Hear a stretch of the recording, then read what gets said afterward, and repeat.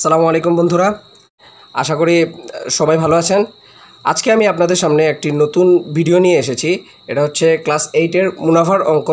আমাদের একজন ছোটো ভাই এটা রেফার করেছেন যে ওনার এই মুনাফার অঙ্কতে খুব সমস্যা হচ্ছে। আমি আজকে এই সমস্যাটা সমাধান করার চেষ্টা করছি। আশা করি পুরো ভিডিওটা দেখবেন এবং আমাদের সাথেই থাকবেন। এখন আমরা প্রশ্নে চলে যাচ্ছি।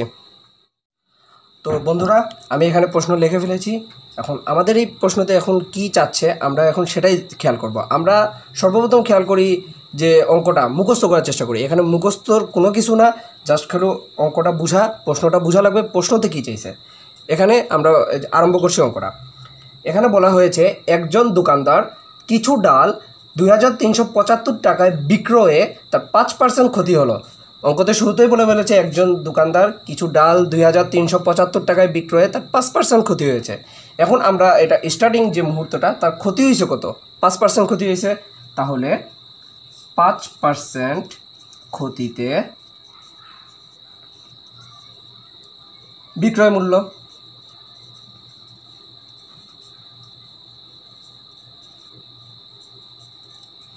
যেহেতু এখানে পার্সেন্ট আছে, তার পার্সেন্ট মানেই একশো। বিক্রয় মূল্য পাঁচ পার্সেন্ট ক্ষতি হয়েছে। পাঁচ পার্সেন্ট ক্ষতি মানে কি? অবশ্যই কমে এসেছে।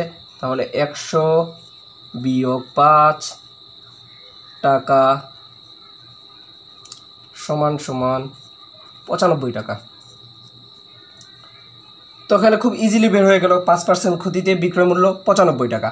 এখানে বলছে, কিছু ডাল দুই হাজার তিনশো পঁচাত্তর টাকা বিক্রয়ে।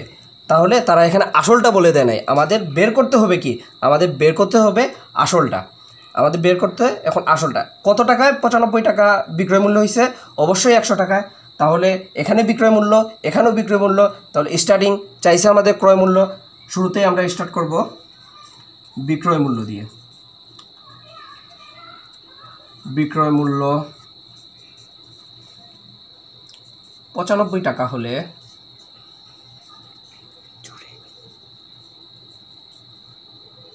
ক্রয় মূল্য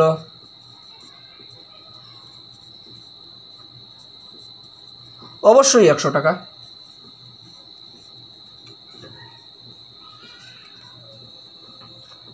অতএব বিক্রয় মূল্য। এক টাকা হলে ক্রয় মূল্য। অবশ্যই এটার থেকে কম। একশো ভাগ পঁচানব্বই টাকা। অতএব বিক্রয় মূল্য দুই হাজার তিনশো পঁচাত্তর টাকা। দুই হাজার তিনশো পঁচাত্তর টাকা হলে ক্রয় মূল্য একশো গুণ দুই হাজার তিনশো পঁচাত্তর ভাগ পঁচানব্বই টাকা। এখন দেখুন, এটাকে আমরা পাঁচ দিয়ে কাটাকুটি যায়। পাঁচ বিশে একশো, পাঁচ উনিশে পঁচানব্বই এবং উনিশ দিয়ে দুই হাজার তিনশো পঁচাত্তরকে একশো পঁচিশ বার যায়। একশো পঁচিশ উনিশে দুই হাজার তিনশো পঁচাত্তর। তাহলে একশো পঁচিশ দুগুণে দুইশো পঞ্চাশ সাথে একটা শূন্য। তাহলে এখানে আমরা খুব ইজিলি ক্রয় মূল্যটা বের করে ফেললাম। পাঁচ পার্সেন্ট ক্ষতিতে বিক্রয় মূল্য পঁচানব্বই টাকা এবং দুই হাজার তিনশো পঁচাত্তর টাকা যদি বিক্রয় মূল্য হয়, ক্রয় মূল্য পঁচিশশো টাকা। সহজেই আমাদের অঙ্কর প্রথম পার্ট শেষ হলো। দ্বিতীয় পার্টে ওই ডাল কত টাকায় বিক্রয় করলে? এখন বলছে ওই ডাল, কোন ডাল? যে ডালটা সে পঁচিশশো টাকায় কিনেছিল, ওই ডালটা সে কত টাকায় বিক্রয় করলে? তার ছয় পার্সেন্ট লাভ হবে। এখন আমরা শুরুতেই যাই। ছয় পার্সেন্ট লাভে অবশ্যই বিক্রয় মূল্য।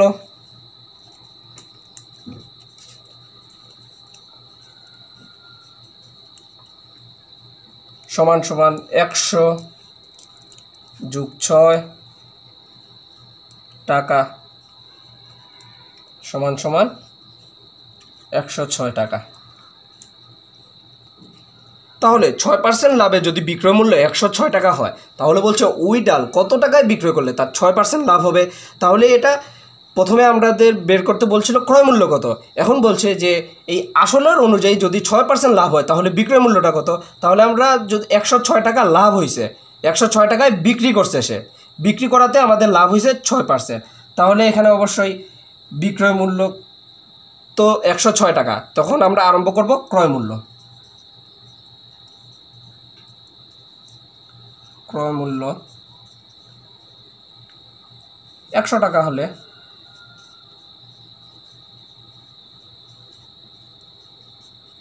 বিক্রয় মূল্য।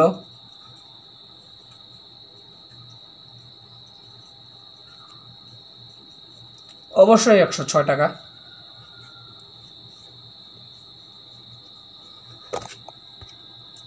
অতএব ক্রয় মূল্য এক টাকা হলে বিক্রয় মূল্য আরও কম।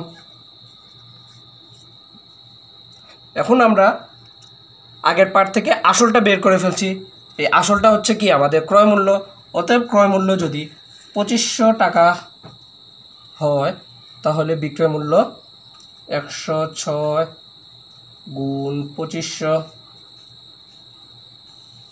ভাগ একশো টাকা। এই একশো পঁচিশশোর ভিতরে পঁচিশ বার যায়।